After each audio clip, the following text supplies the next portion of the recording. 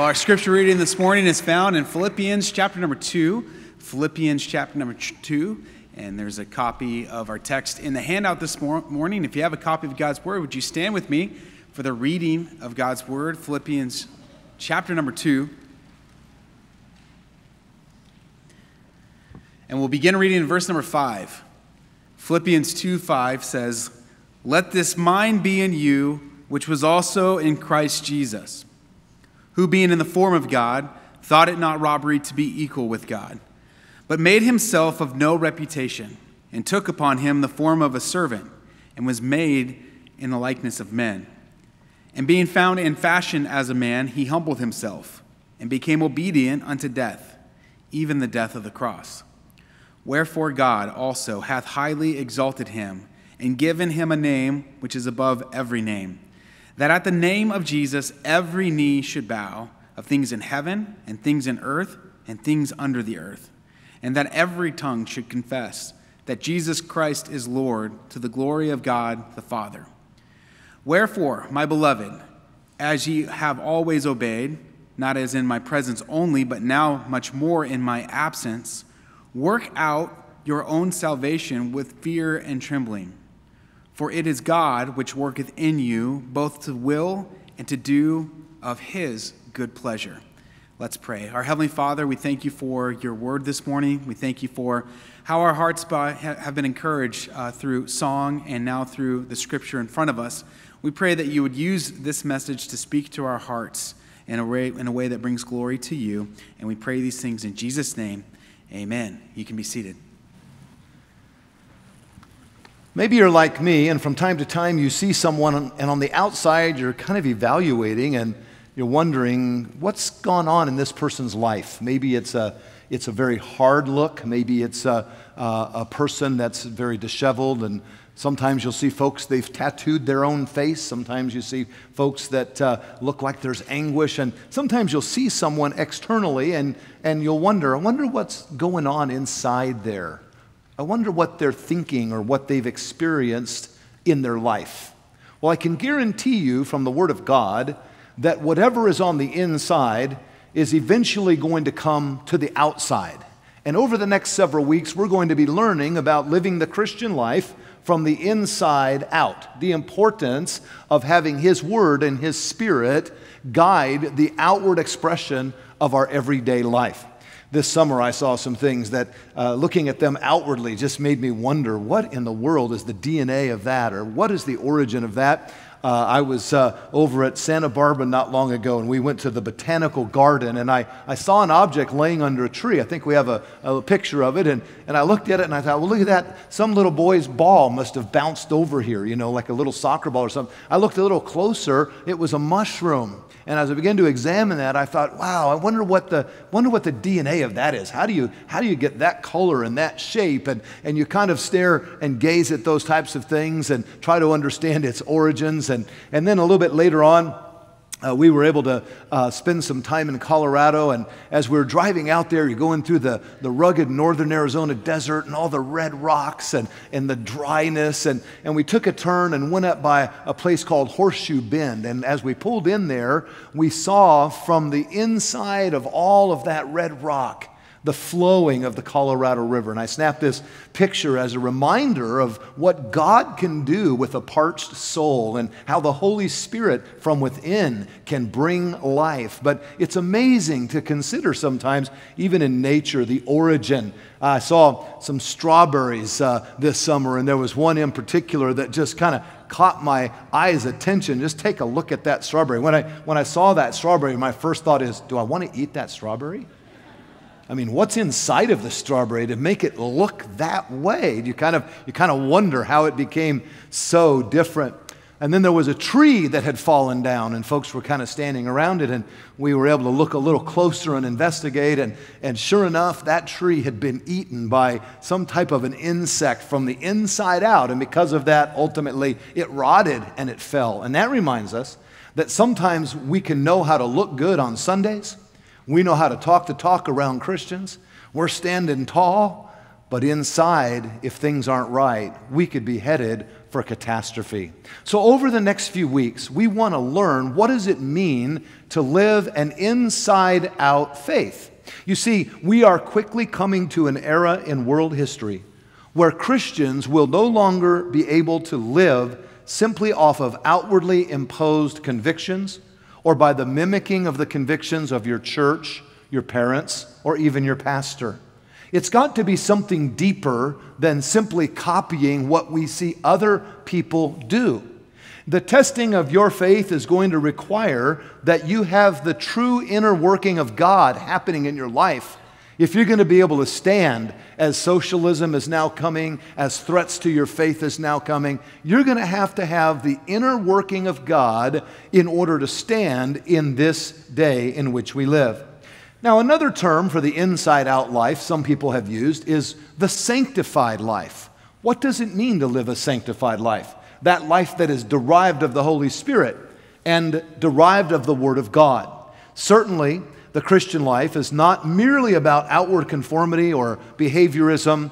It is truly about the Holy Spirit of God working transformatively within you and within me. The manifestation of God, so that people see Jesus in you and they see Jesus in me. You might remember a verse that speaks about that in Romans chapter 12 and verse 2. The Bible says, And be not conformed to this world, but be ye, what's the next word say? Transformed by the renewing of your mind. And we've studied that word before. Transformed is the word metamorphosis uh, as a butterfly emerges from the cocoon and from the inside out, there's something beautiful seen. God wants your life to be a beautiful display of the work of His grace internally. He says, I want you to metamorphosize in this world. Now, I think of examples of this. I think of Christ's appearance on the Mount of Transfiguration how that with resplendent glory and divine uh, essence, he made himself seen and known to his disciples on the Mount of Transfiguration. I want you to recognize as we begin this series that you are either being formed by this culture or you are being transformed by the God within you. Teenagers, you are either being formed by the culture by the things they say and wear and do, or you are being transformed by the inner working of God within you. God wants to take each of our lives and renovate them for His glory. He wants to renew them for His glory. But how does that happen? How does someone do, as the Bible says this morning, how does someone work out their own salvation with fear and trembling? How do we come out of that cocoon and, and truly live for the glory of God? Well, this morning I want to lay a foundation for the messages we're going to see in the upcoming weeks. And, and I want to share with you the basis for the sanctified life, for living out the inner life of the Lord Jesus Christ.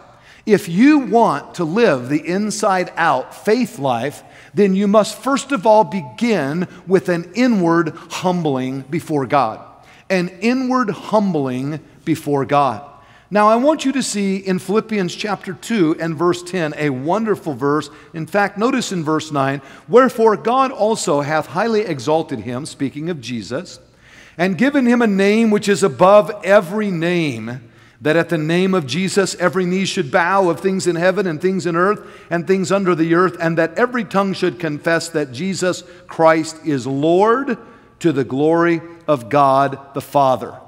Now, God has highly exalted his Son, Jesus Christ. He has given him a name that is above every name. And God is calling us as human beings to come to Jesus Christ and that every knee should bow. Now, sometimes we speak of that prophetically, like there's coming a day when every knee will bow, but God wants that day for you and for me to be today. He wants us to bow to Him in salvation if you're not saved, and He wants the saved to bow to Him daily, humbly coming to Him as Lord. We bow and we confess and we say, God, I can't renovate my life. Every time I try, I mess it up. I can't transform my life on my own uh, best laid plans. God, I need your divine help. Now, Isaiah 45 is where we find this verse originally. It says, I have sworn by myself, the word has gone out of my mouth in righteousness and shall not return, that unto me every knee shall bow. We must come humbly in bowing to the Lord. We must be humbled by the truth of Christ. There must be in your heart and in your spiritual journey a carefulness not to become accustomed to the death, burial, and resurrection. The Bible says in 1 Peter 5 5, God resists the proud, but he gives grace to the humble. Now think of the truth of Christ for just a moment. You see, this is what we find in Philippians 2, this passage concerning the deity and the, the presentation of Christ uh, some call it the kenosis passage, meaning that Jesus emptied himself of the prerogatives of his deity. He never stopped being God, but he laid aside his prerogatives and he became a man. He took the form of a man and he came down to this earth. And the Bible says in verse 7 he made himself of no reputation and took upon him the form of a servant and was made in the likeness of men. He came in that manger in human form. And when I think of this, and sometimes when I think of my own life, or I see the attitudes of Christian people sometimes, and especially the world that is lost all around us, when I think of what Jesus did and how we act sometimes, I think of this verse in Psalm 8 and verse 4. What is man that thou art mindful of him? That God's Son would come down to save me and to save you, I propose to you should be a very humbling thought in and of itself. What is man that thou art mindful? Say, well, I know what I am. I've got this degree and that degree, and I can do this, and I've got that job, and I've got that job. No, the fact is that we are lowly sinners, unworthy of God's condescension to us. And we must humbly come before Him if we will have His working through us. He came to us. He suffered for us. Look at verse 8. And being found in fashion as a man, he humbled himself and became obedient unto death, even the death of the cross. The Bible says in verse 10 of Hebrews chapter 2 For it became him for whom are all things, and by whom are all things, in bringing many sons unto glory, to make the captain of their salvation perfect through sufferings. We need to be humbled by this truth. We should not forget this truth that Jesus Christ suffered for us. I have in my hand here this morning a crown of thorns that we brought back from the Holy Land, and our tour guide he showed this to my wife and, and she's, she's a sunday school teacher. She was up at 5.30 this morning getting ready for the fourth grade girls and, and she always wants an object lesson. She said honey i want to take that home. And so we wrapped it in some plastic and brought it back. These long thorns. The tour guide said uh, these would have gone into the brow of Jesus and no doubt into the very skull of Jesus, and the blood came forth, flowing down as a covering for our sin. And when I think about who I am and when I think about who Jesus is, it should humble me that he came down to pay the price for my sin. We must be humbled by the truth of Christ. And then, secondly, we must be humbled by the position of Christ. This Christ, our Savior, notice in verse 11 what the Bible says, and that every tongue should confess that Jesus Christ is Lord to the glory of God the Father. We confess that Jesus is Lord.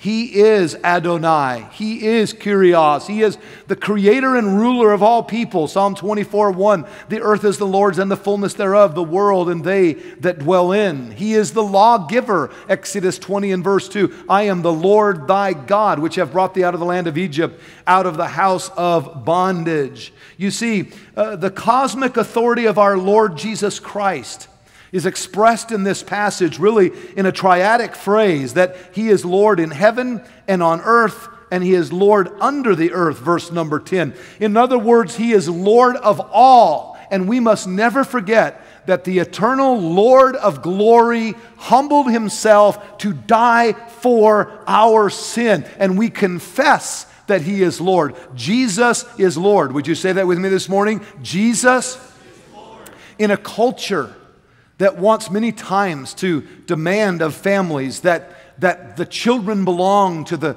to the society and not to the family. There may be times when you have to say, I'm sorry, but Jesus is the Lord of our life and of this family.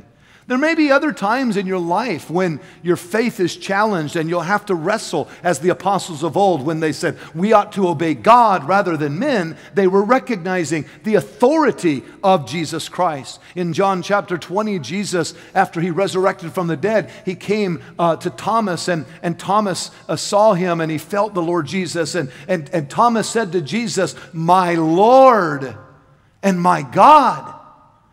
And Jesus didn't say, Don't call me God.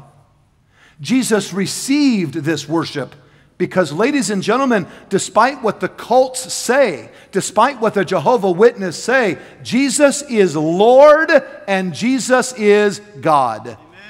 And this is the cornerstone of our faith that he is Lord God. We confess Jesus is Lord and we worship, we worship Jesus as Lord.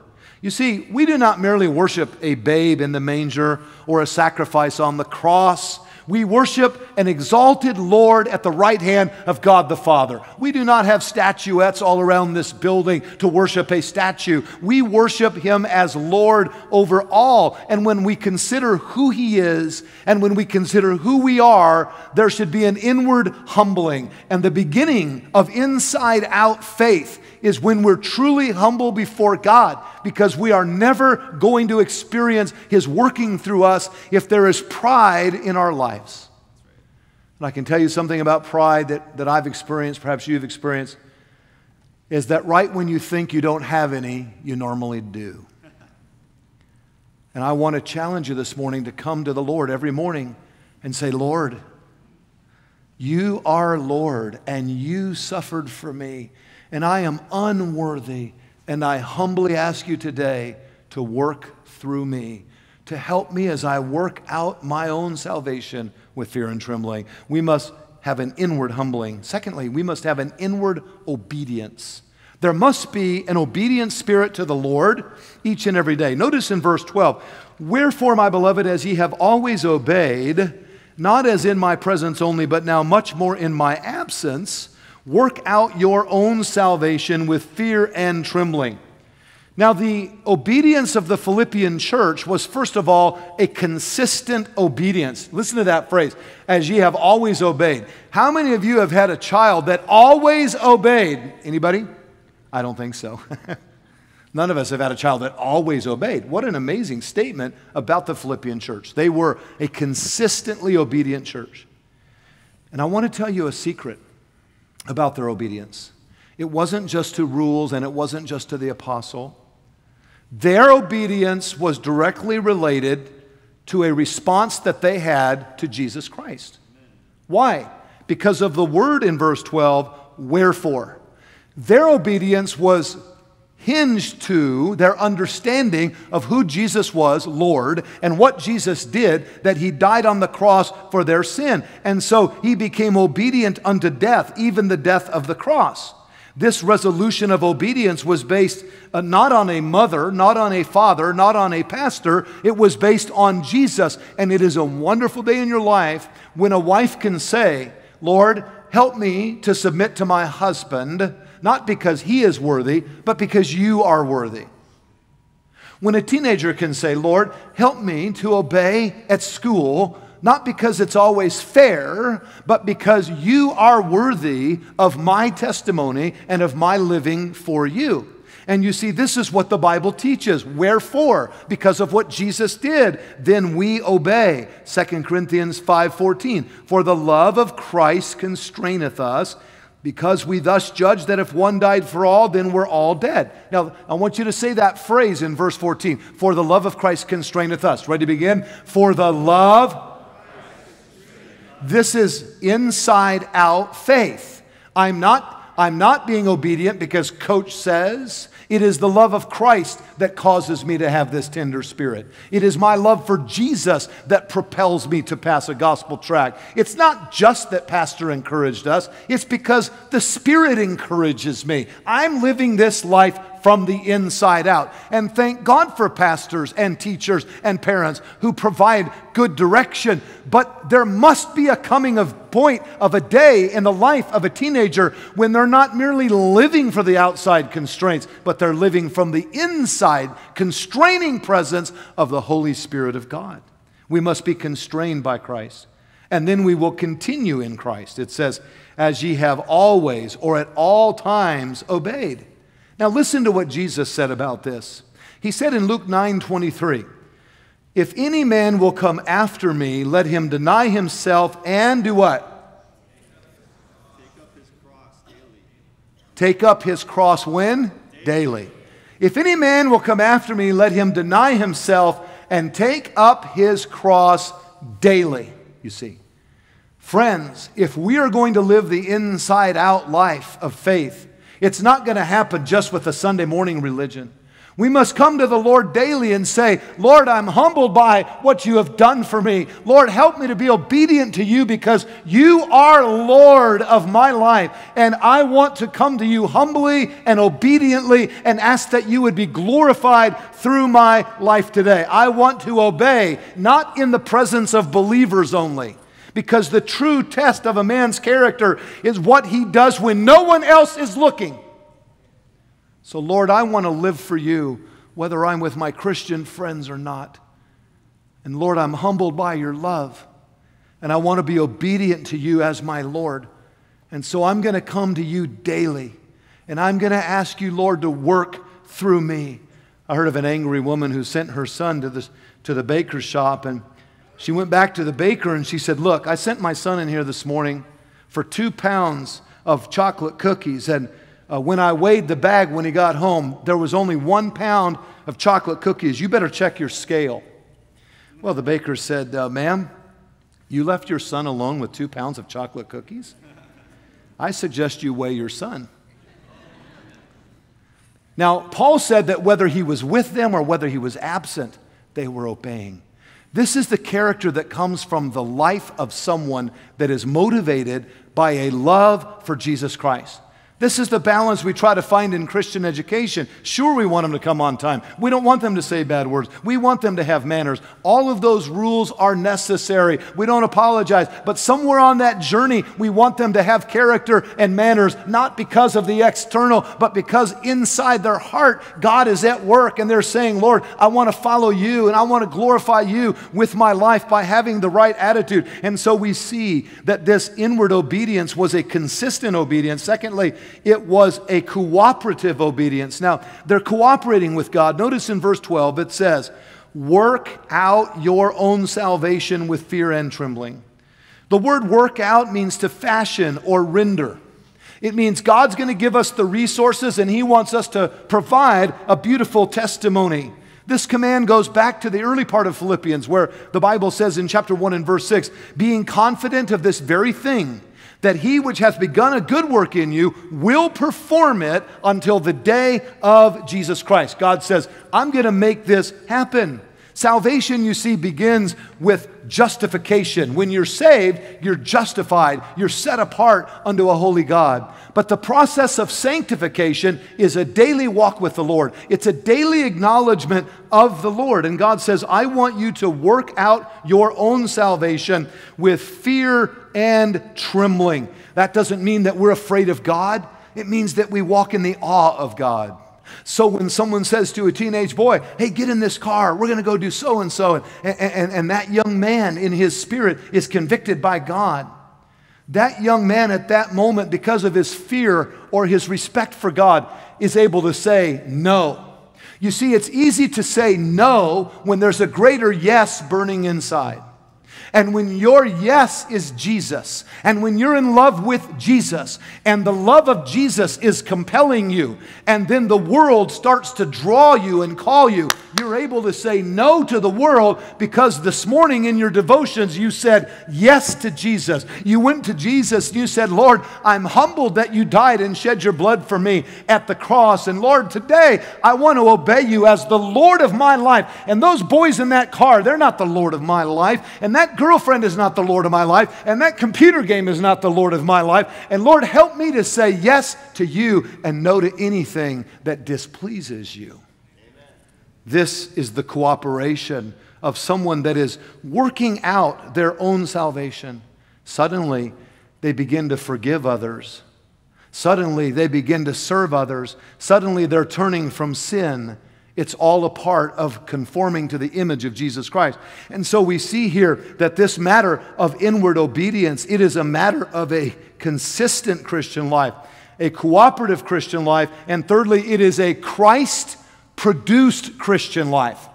Now, don't miss this this morning in verse 13. Notice, for it is God which worketh in you. Let's say that together. It is God which worketh in you. Now, I want my children to obey because I said, but how many of you would say, I want God to work in their heart? And I want God to work in my heart. For it is God that worketh in you from the inside out. This is God doing this.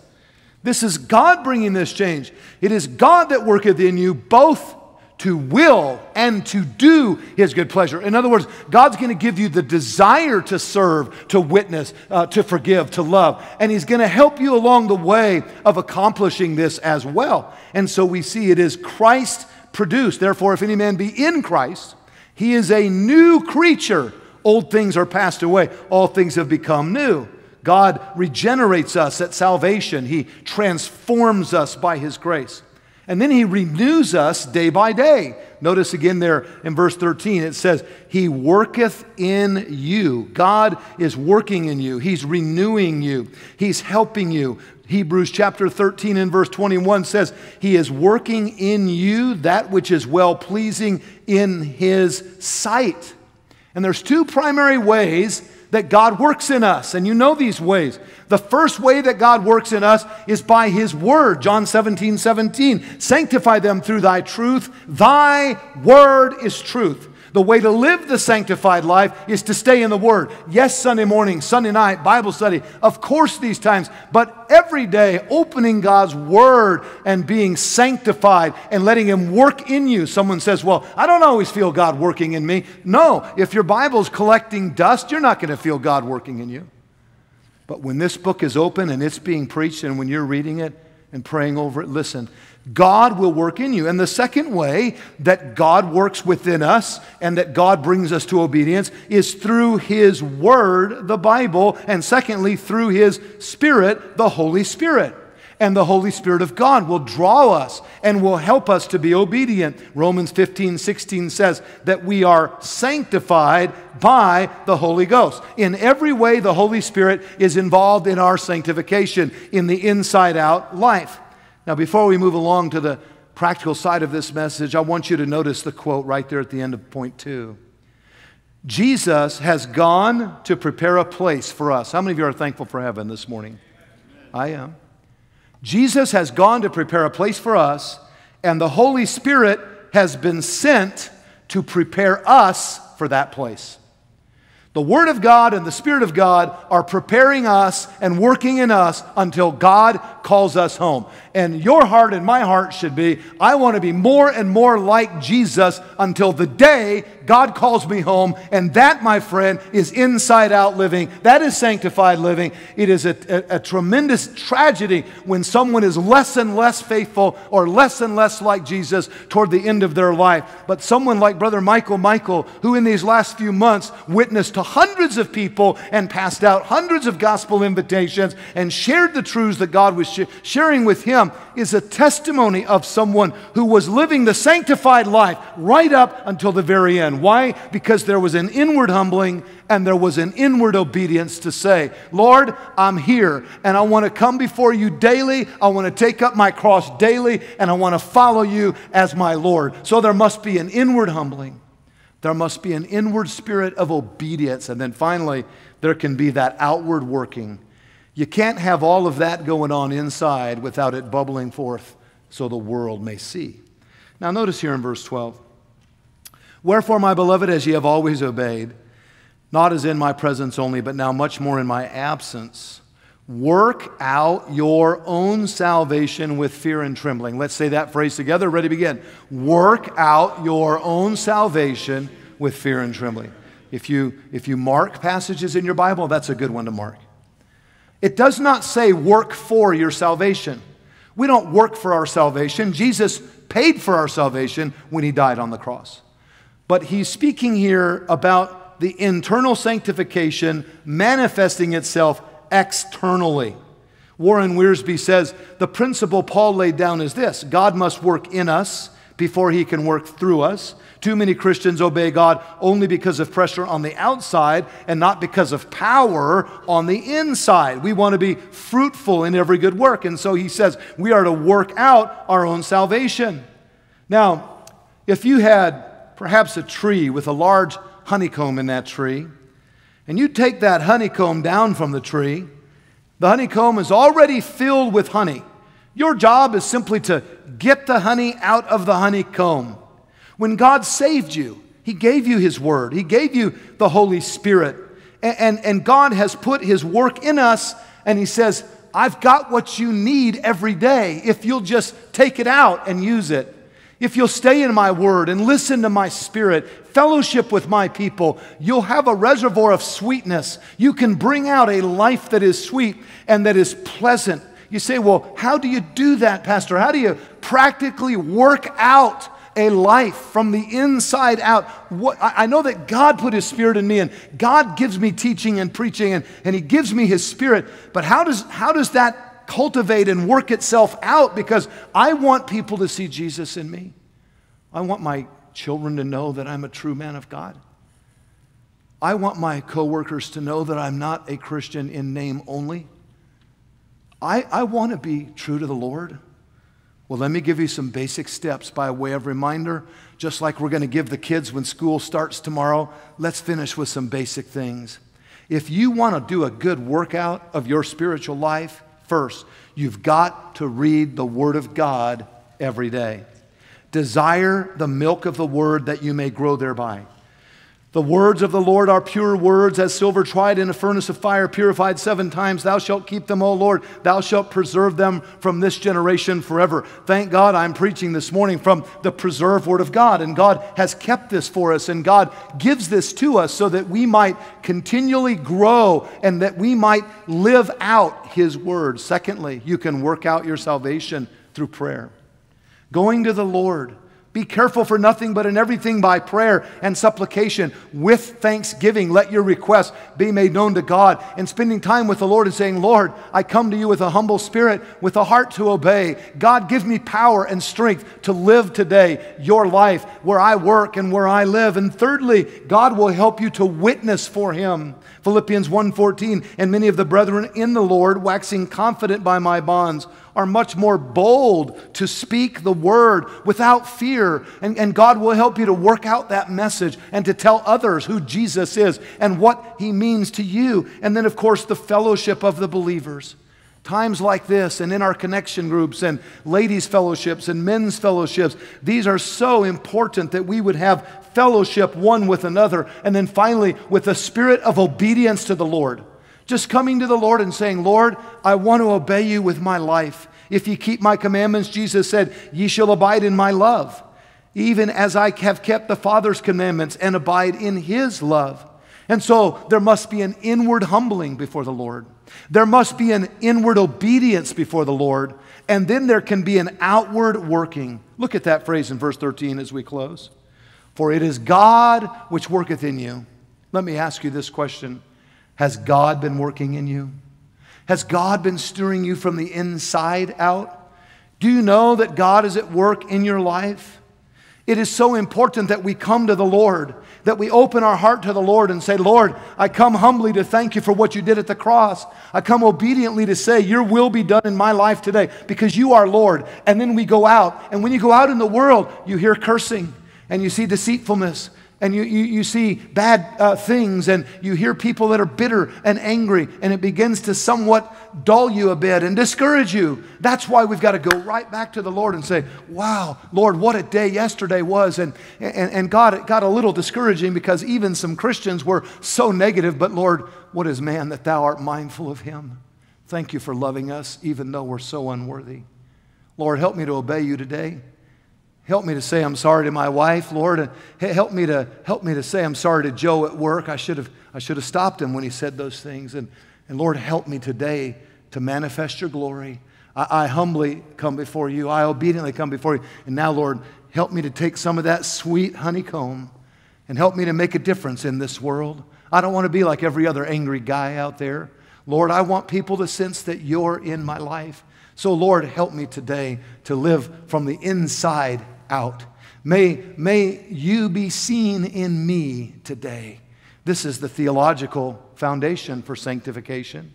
And we must recognize that it all begins with the gospel of Jesus Christ.